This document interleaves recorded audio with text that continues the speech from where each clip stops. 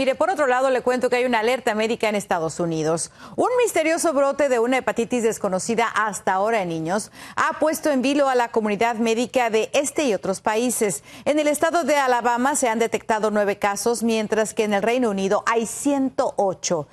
Los menores son de las edades entre 1 y 7 años y han enfermado gravemente y algunos han necesitado hasta un trasplante de hígado. Los Centros de Control y Prevención de Enfermedades informaron que están trabajando con expertos europeos para descubrir las causas de este tipo de hepatitis pediátrica.